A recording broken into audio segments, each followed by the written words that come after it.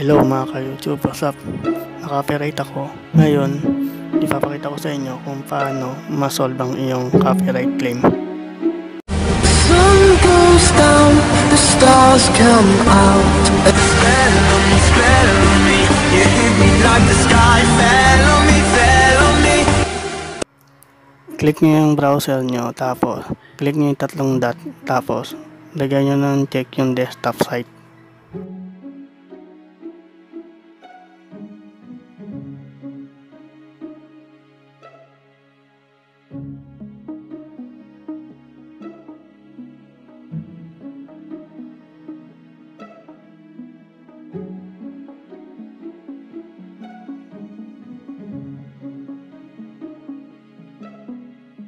Tapos, click nyo yung picture nyo. Tapos, click nyo yung your channel.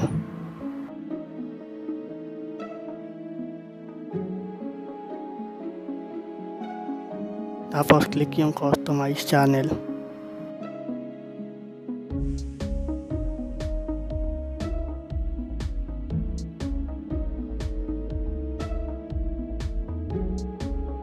Click video manager.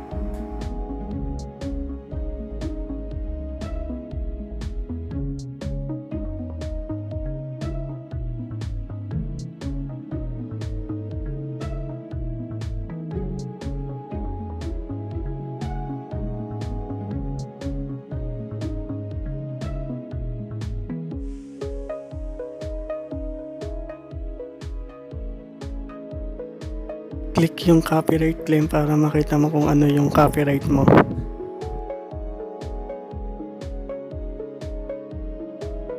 Yan makikita nyo, hindi ako nagpapanik dahil lang copyright ko daw hindi makaka-apekto sa aking YouTube channel.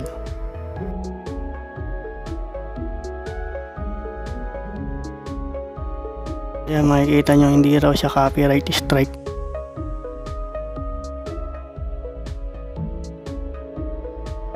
Ayan ang dahilan kung bakit ako na copyright claim sa sound ng Karen Cash Reward application. Kasi ang Karen Cash Reward application mag-play ka ng music kikita ka ng points at mapapalitan mo siya ng dollar. Yan makikita niya pwede nyo siya i-trim out segment replace song mute. Pero mag-dispute ako kasi yung song galing sa Karen Cash Reward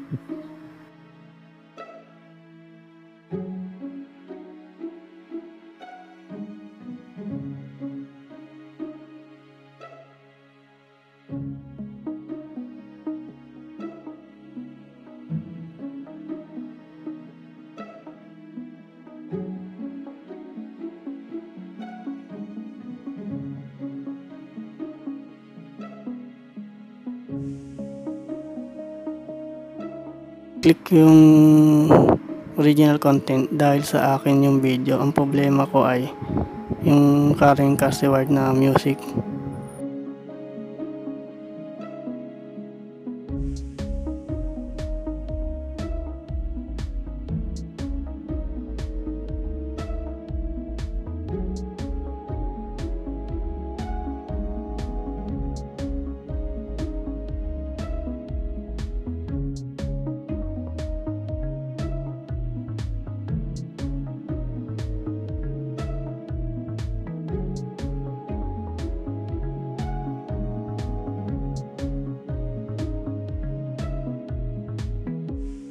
Ganun check yung box.